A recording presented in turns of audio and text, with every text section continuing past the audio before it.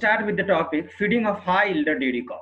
This means uh, dairy cow means animal producing or cattle producing milk. Is clear? Is clear? Cow producing Yes, sir. dairy cattle. So first of all, if we start with this milk or milk production or nutrition, let me say that milk production is itself a physiological stress to cow.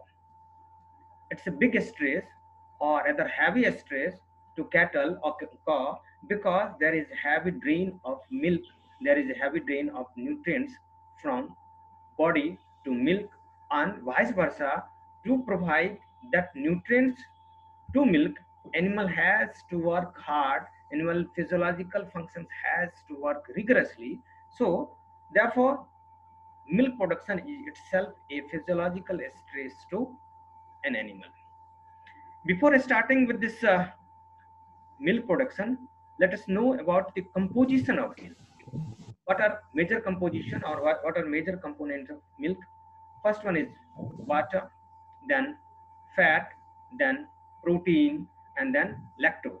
Lactose is uh, carbohydrate that is uh, made up of glucose and galactose and milk is a memory secretion that is synthesized in mammary gland from precursor absorbed from the blood and transported from digestive system or from body reserves. This means uh, cow don't have their intrinsic system to produce milk without any nutrients. For each and every nutrient drained in milk, you have to supply nutrients or that nutrients should be converted from digestive tract or other parts of the body to be converted into milk.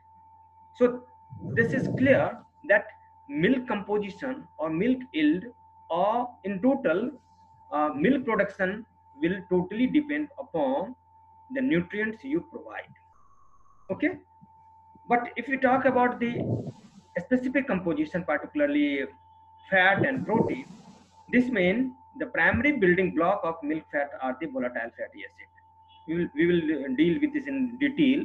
Uh, how milk fat is being formed how lactose is being formed or protein is being formed. Okay? So primary factor or if we talk about the quality of milk it is uh, generally guided by two things. One is fat another one is snf fat milk fat you know it starts from 4 to 8 percent in case of cattle in case of buffalo it is 8 percent. So major uh, quality determinants in case of uh, milk is uh, fat as well as snf before starting with this let's look uh, let's have um, uh, your idea about lactation cycle. Because this will decide or this will define the nutrients of animal particularly in lactation cycle. Lactation starts suppose uh, there are three graphs. This this graph indicates milk production. This means there is a sigmoid graph almost that there initially there is increase in milk yield.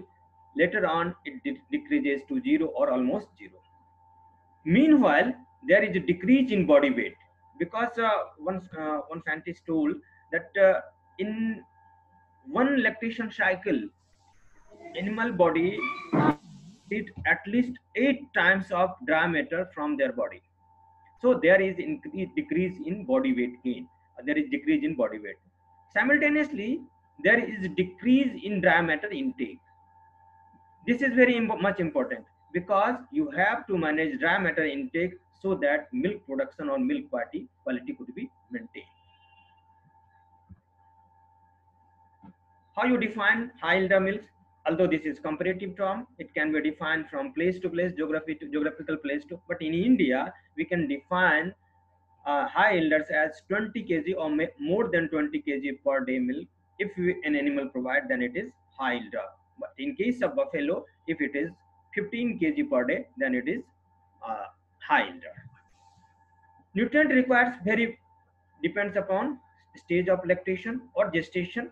This means if it's like um, peak period, if, if, if we talk about peak period of lactation, you have to supply more nutrients. if you uh, talk about late period of lactation then you have to just maintain their body weight or milk production. It also depends upon quantity of milk you know. Higher the quantity of milk higher the yield higher the nutrient requirement. Again it depends upon quality of milk. It means if fat concentration is high you have to feed more if lactose is high simultaneously or rather solid not fat, fat are high then you have to feed accordingly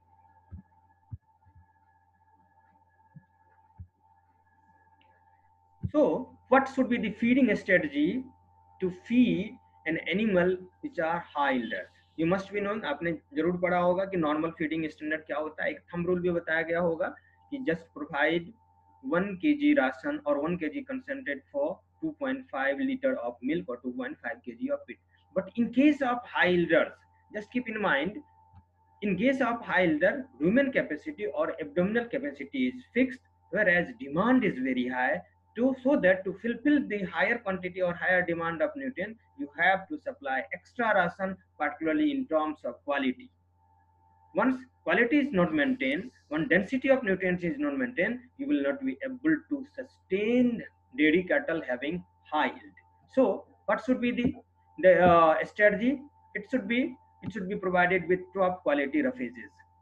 Top quality roughages means it may be berseem or any legume or having high quality of protein, having high concentration of protein and almost all nutrients, minerals, vitamins and so you have to keep in mind it should be supplied with at least 10 to 15 percent of dry matter keep in mind मैं ये नहीं कर रहा हूँ कि 10.10 to 15 percent of total ration this is dry matter content it can go up to 50 percent of the total uh, roughages make sure animals eat plenty of roughages because later we will talking about roughages leads to production of fat again slowly increase concentration supplementation supplement supplementation with, with 200 gram per day keep in mind in in case of high yielder there should be change in change in ratio of roughages to concentrate generally हम क्या कहते हैं कि 6 two is to forty जो है हमारा ratio होना चाहिए but in case of high yielders it can go up to just reverse 40 percent roughages and 60 percent concentrate because you have to supply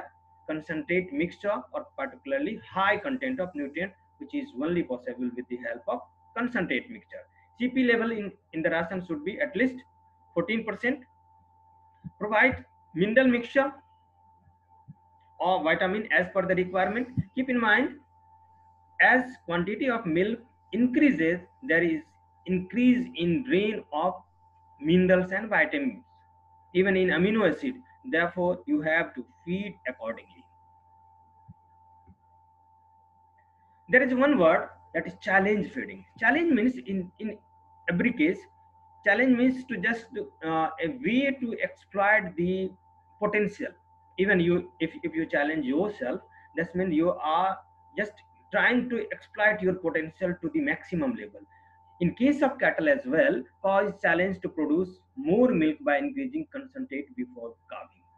This means once cow comes in uh, first lactation or start lactation, there is heavy demand of nutrients.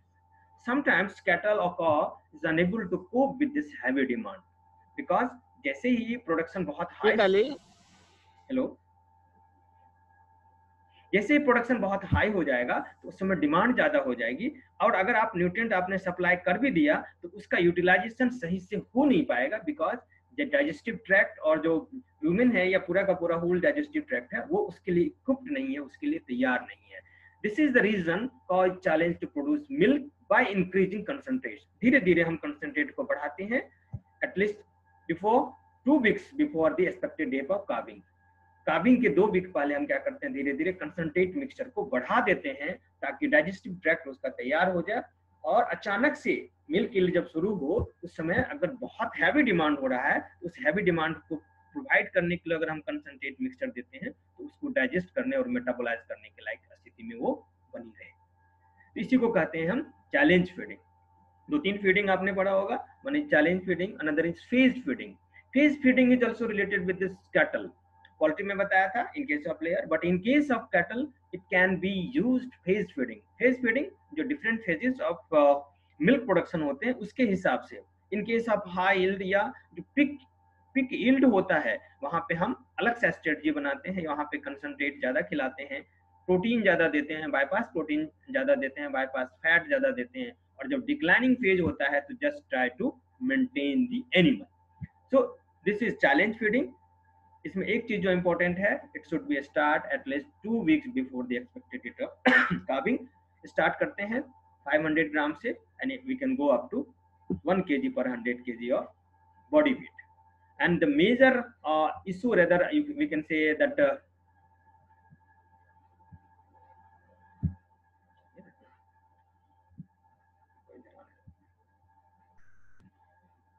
major major uh, objective is animal digestive system to be adapted for high quantity of milk production. This is the most important slide. You you should remember dietary factors affecting milk production and what should be the strategy in addition to others animal. Just keep in mind to provide high energy concentration you can't increase concentration or quantity of milk uh, concentrate because once you increase concentrate then it will leads to acidosis higher production of lactic acid and ultimately it will lead to acidosis. So to provide high concentration of energy you need to provide fat. And once you provide fat in raw form or as such form then it will uh, just uh, spread on roughages or uh, straw or whatever your roughages you feed then it will leads to digestibility or decrease in digestibility or roughages therefore we should provide bypass fat, fat that is fat which is not digested in rumen. It is digested in a small intestine or the lower part of the digestive tract. It should be fed up to 250 gram to 500 gram per day or in case of concentrate mixture it can be used up to 1 to 1.5 percent of the total concentrate mixture simultaneously you should increase bypass protein 10 percent of dry matter it should be increased by 10 percent जितना भी आप protein दे रहे हैं उसका कम से कम हम 10 percent जो है वो प्रोटीन दें ताकि ये प्रोटीन सीधा स्मॉल इंटेस्टाइन में जाके यूटिलाइज हो और एनिमल के रिक्वायरमेंट को फुलफिल करे again minerals or chelated mineral you must be knowing that concentrate mixture contain 2% of mineral mixture whereas 1% of common salt so in case of dairy animal again you have to provide 2% of concentrate mixture or in daily basis you can provide 50 gram to 100 gram mineral mixture per day depending upon their production.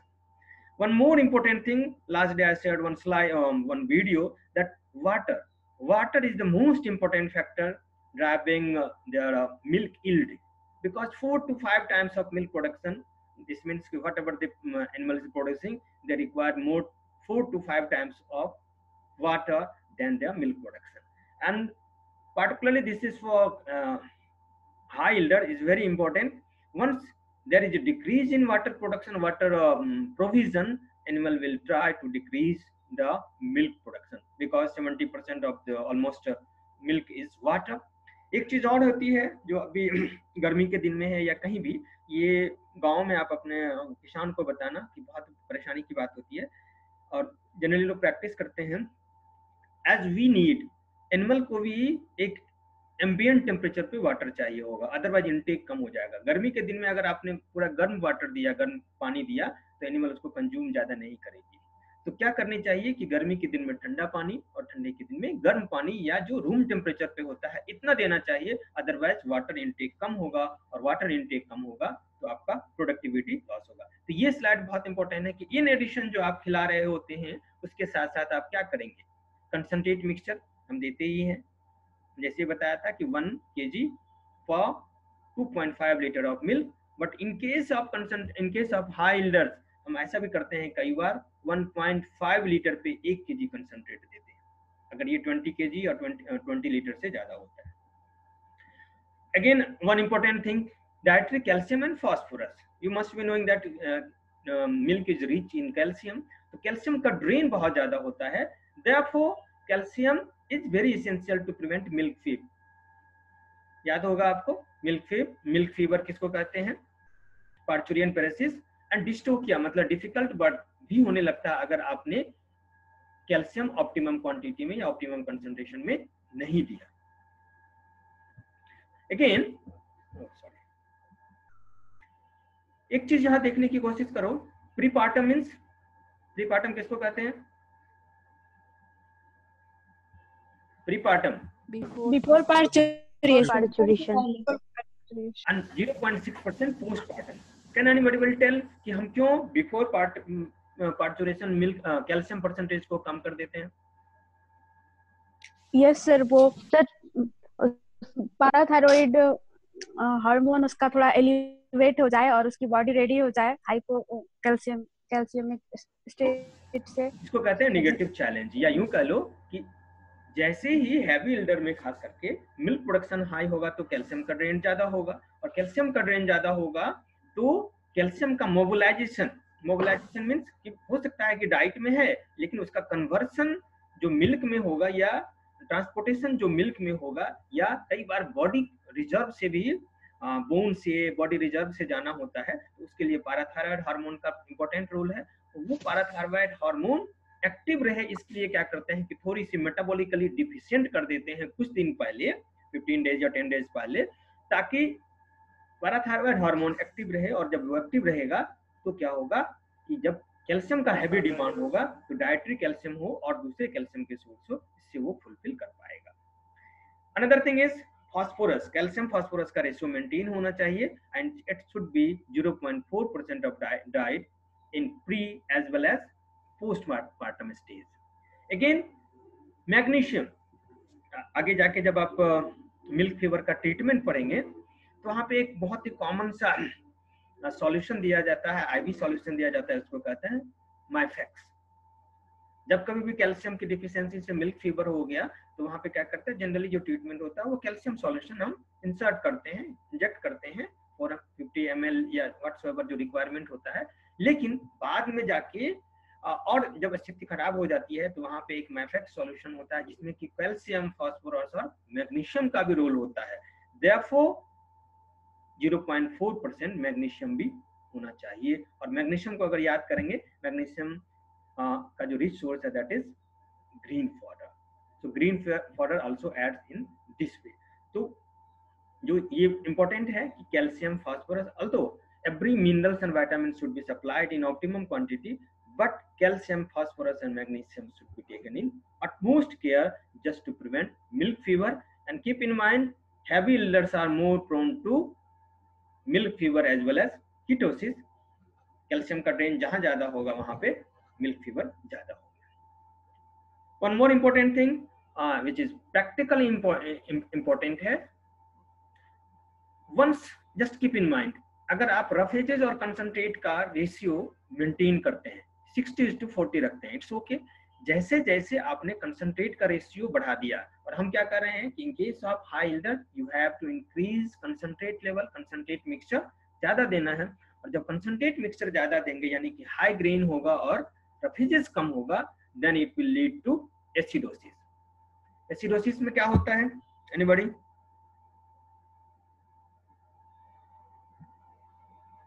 Acidosis में क्या होता है? सुन पा रहे हो? Sir increased production of gas due to fermentation of carbohydrates. Rumen distension हो जाता है। तो तो ब्लोट हो गया। गैस गैस गैस so लेकिन ये यूरिक एसिड सर बना एसिड बढ़ जाता है। एसिडिक हो जाता है। एसिडिक हो। जाता है। And this acidic condition is due to production of high production of lactic acid फिर से मैकेनिज्म को याद करिए। अगर हमने हाई कंसनट्रेट डाइट दिया हाई ग्रेन दिया हाई कार्बोहाइड्रेट दिया तो वहाँ पे क्या है? एनारोबिक कंडीशन है और एनारोबिक कंडीशन में जो सॉल्युबल कार्बोहाइड्रेट है, वो किसमें कन्वर्ट हो जाएगा? लैक्टिक एसिड में कन्वर्ट हो जाएगा। और जब लैक्टिक एसिड में कन्वर्ट होगा तो लैक्टिक एसिड का पीएच क्या होता है? वो कम होता है। It will reduce pH below six and this condition can be known as acidosis और जब एसिडोसिस होगा तो उसके साथ स्टार्च की डाइजेस्टिबिलिटी कम होगी और मिल्क फैट को ये रिड्यूस कर देगा।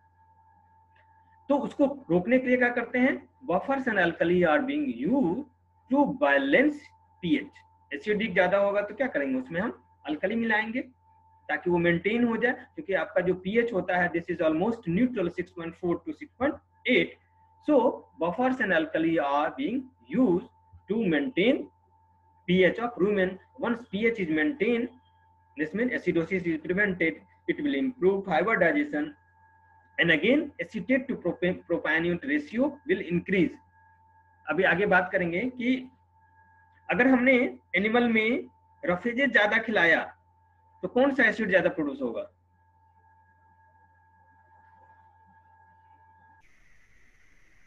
रेशियो मान लो कि 50 50 है लेकिन हमने रफेजेज ज़्यादा खिला दिया फाइबर ज़्यादा खिलाया तो।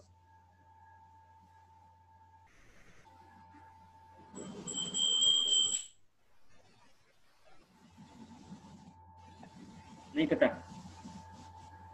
एनीबॉडी जो आपका तीन तीन रेशियो होता है या तीन जो वोलेटाइल फैटी एसिड है acetic propionic and butyric acid acetate और ब्यूटाइरिक प्रोपियोनिक एसिड और butyric acid acid sir propionic और ब्यूटायरिक एसिड एसिटेट और ज़्यादा होगा। एसिटेट ठीक है?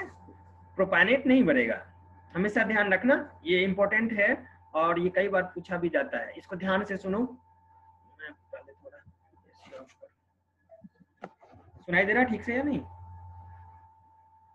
यस दे रहा है सर दे रहा है। सर दे रहा है। जैसे आपने रफेजेस को ज़्यादा बढ़ा दिया तो रफेजेस को बढ़ाने से क्या होगा? एसीटेट ज़्यादा बढ़ जाएगा। साइमल्टेनियस ब्यूटारेट भी बढ़ेगा। लेकिन जैसे ही आपने कंसनट्रेट को बढ़ा दिया तो प्रोपानेट बढ़ जाएगा। क्लियर है? आगे हम लोग बात करेंगे। एसिटेट और एसिटिक एसिड और ब्यूटारिक एसिड को एक अलग सा नाम दिया जाता है। कैटेगरी कहते हैं, उसको क्या कहते हैं? कीटोजेनिक वोलाटाइल फैटी एसिड दो कैटेगरी बांटते हैं, तीनों वोलाटाइल फैटी एसिड को। एसिटेट और ब्यूटारेट को बोलते हैं कीटोजेनिक मींस फैट प्रोड्यूसिंग और प्रोपाइनेट को बोलते हैं ग्लूकोजेनिन मींस एनर्जी यील्डिंग। और यही रीजन है कि अगर आपने एसिटेट को बढ़ा दिया, किसी भी कारण से, किसी भी तरह से अगर एसिटेट को बॉडी में बढ़ा दिया तो क्या होगा? मिल्क फैट परसेंटेज बढ़ जाएगा और उसी तरह आपने प्रोपाइनेट को बढ़ा दिया तो मिल्क यील्ड बढ़ जाएगा। और दिस इज़ द रीजन अगर आपसे कोई पूछता है कि अगर मिल्क फैट बढ़ाना है तो क्या करेंगे? तो आप क्या बताएँगे कि फाइबर का कंसंट्रेशन बढ़ा और अगर मिल्क यील्ड बढ़ाना है तो क्या करेंगे हम? प्रोपाइनेट का कंसंट्रेशन बढ़ाएँगे जिसमें लाइक. Milk grain. ठीक है? ये इंपॉर्टेंट है। और आगे बत- सर कीटो कीटोसिस जस्ट इसका उल्टा हो गया सर हो हुआ ना कीटोसिस उल्टा हो गया। कीटोसिस कैसे उल्टा हुआ? इन केस ऑफ़ कीटोसिस क्या होता है? एनर्जी डिफिशियंसी होती है। ठीक है? फिर से याद करो इन केस ऑफ़ कीटोसिस क्या हुआ कि एनर्जी की डिफिशियंसी हो गई और जब एनर्जी की डिफिशियंसी हो गई तो आपके जो एसिटेट एंड ब्यूटारेट होते हैं, वो कन्वर्ट होकर एनर्जी देने की कोई कोशिश करते हैं और उसी के दौरान में aceto acetate and beta hydroxy butyrate बनता है और उसी को हम कीटोन बॉडी कहते हैं।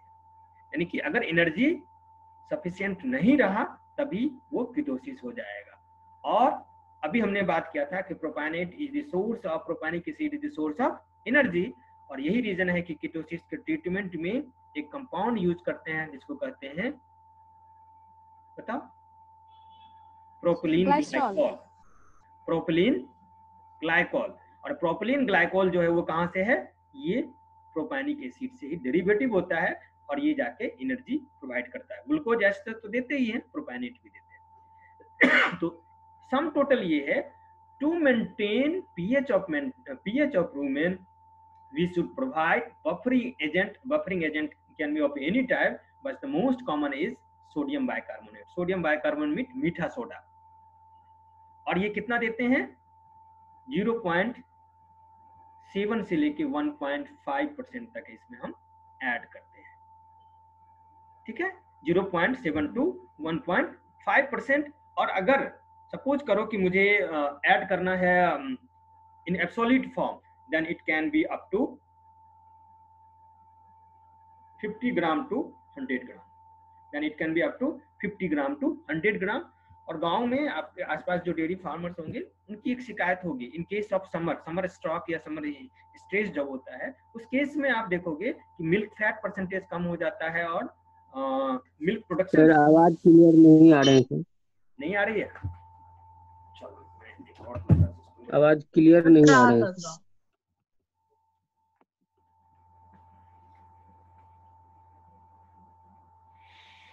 अब सुनाई दे रहा है ठीक से? अब सुनाई दे रहा है? हेलो यस सर अब क्लियर है? हाँ Yes, sir, सर रहा यस सर अब ठीक है? है यस चलो ये चोला पहनना तो।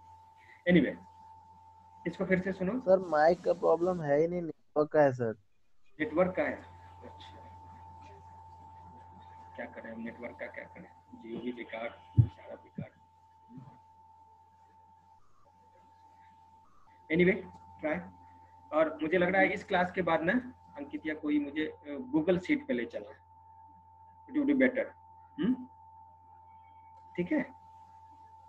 एक और टॉपिक है जो आपने पूछा था कि फैक्टर्स अफेक्टिंग मिल्क क्वालिटी इसको क्लियर करें पहले स्लाइड को।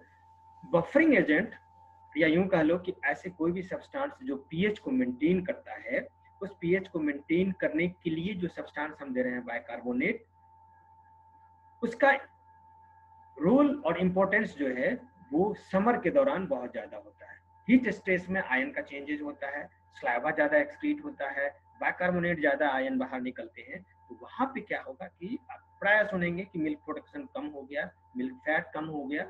वहाँ पे क्या करना चाहिए? उनको बताना चाहिए कि कुछ नहीं तो आप मीठा सोडा कम से कम गाय को 50 से 100 ग्राम प्रतिदिन दीजिए। और you will see there is change in there is change in अभी आने लगा आपका टेम्परेचर मिल्क प्रोडक्शन जो है वो इंक्रीज कर जाएगा और मिल्क फैट परसेंटेज भी इंक्रीज हो जाएगा। ये समझ में आ गया?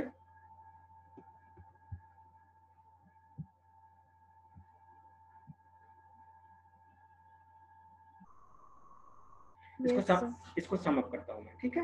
इसको समअप करता हूँ। अगर नहीं सुनाई दिया होगा तो ध्यान से सुनो। फिर से। आवाज़ नहीं जाएगी तो बीच में रोक देना। हाई एल्डर्स में जहाँ पे कि 20 लीटर से ज़्यादा मिल्क इल्ड होता है, उस मिल्क इल्ड को, के रिक्वायरमेंट को, जो न्यूट्रिशनल रिक्वायरमेंट है, उसको फुलफिल करने के लिए हमें क्या स्ट्रेटजी अपनानी चाहिए? और प्रॉब्लम कहाँ कहाँ होती है? एकदम ध्यान से सुनना, लिख लोगे आप लोग आराम से। जो और सारे स्ट्रेटजी हैं, वो तो है ही। पहला स्ट्रेटजी क्या होता है कि ड्राई मैटर इनटेक वो कम हो जाता है। ड्राई मैटर इनटेक जो है, वो रिक्वायरमेंट हाई हो जाती है, लेकिन एनिमल का अपटेक कम हो जाता है। कैसे कम होता है? रिक्वायरमेंट हाई होने के कारण रिक्वायरमेंट हाई होने के कारण जो आप राशन देने की कोशिश करते हैं, जिसमें कि रफेजेज और कंसनट्रेट दोनों मिक्सचर होता है, उस मिक्सचर में, उस मिक्सचर में अगर आपने रफेजेस कम किया तो एसिडोसिस का प्रॉब्लम हो जाएगा। रफेजेस को हाई किया तो जो न्यूट्रिशनल रिक्वायरमेंट आप फुलफिल करना चाहते हैं वो रिक्वायरमेंट फुलफिल नहीं हो पाएगी। तो दोनों तरह की स्थिति बनी रहती है। उसको पूरा करने के लिए हमारे पास एकमात्र रास्ता होता है कि कंसंट्रेट रेशियो तो हम ऑलमोस्ट फिक्स ही रखते हैं। फिफ्टी परसेंट या फोर्टी परसेंट तक चले जाते हैं। लेकिन उसकी क्वालिटी को चेंज कर देते हैं। क्वालिटी को कैसे चेंज करते हैं? सपोज़ करो कि आपने प्रोटीन पहले 12 परसेंट थर्टीन परसेंट दे रहे होते हैं। अब क्या करते हैं? इसमें प्रोटीन का percentage 14 to 15 percent sixteen percent तक चले जाते हैं। तो इससे क्या होगा कि एनिमल अगर इनटेक कम भी है तो प्रोटीन की रिक्वायरमेंट पूरी हो जाएगी। दूसरा चीज़, चूँकि एनर्जी रिक्वायरमेंट बहुत हाई होता है उस रिक्वायरमेंट को फुलफिल करने के लिए क्या करेंगे हम? फैट मिलाते हैं, और वो फैट किस फॉर्म में होता है? बाईपास फैट के फॉर्म में होता है, जो आपने पढ़ा होगा।